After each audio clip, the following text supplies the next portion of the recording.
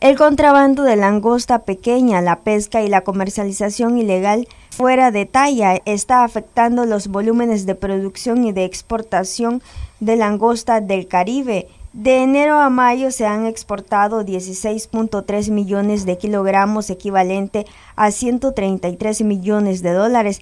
En volumen se han exportado 1.83% menos en relación al año pasado, dijo Armando Segura, director ejecutivo de la Cámara de la Pesca de Nicaragua. Se ha exportado 1.83% menos que el año pasado en volumen sin embargo, en valores se ha exportado el 11% más.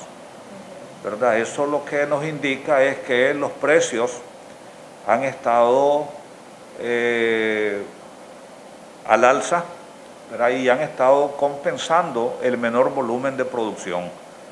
Ahora, ¿por qué tenemos un menor volumen de producción y de exportaciones? El recurso que está marcando esta disminución es la langosta del Caribe. La langosta del Caribe tuvo un mal año el año pasado.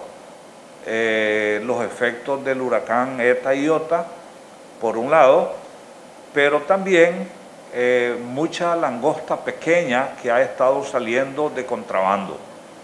¿verdad? Entonces es importante ponerle atención a este elemento. El contrabando, la pesca ilegal, la comercialización ilegal de langosta fuera de talla está afectando los volúmenes de producción y de exportación de langosta del Caribe. Asimismo, se refirió a la nueva temporada de langosta que inicia en julio.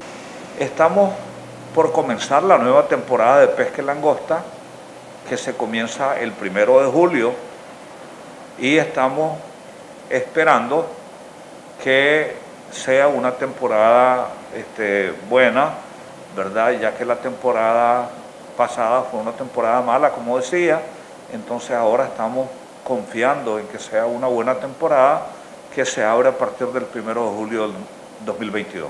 Se estima que la actividad pesquera de langosta es la más importante, genera alrededor de 75 millones de dólares en exportaciones y 10.000 personas viven de dicha actividad productiva. Noticias 12 Darlene Telles.